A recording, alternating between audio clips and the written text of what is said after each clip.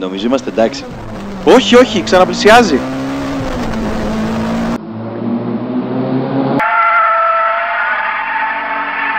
Πρόσεχε, θα σκοτωθούμε. Δεξιά. Αριστερά.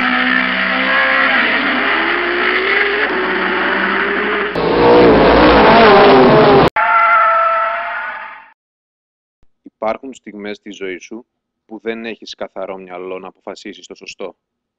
Άφησε τη μοίρα να αποφασίσει για σένα. Φουτούρα.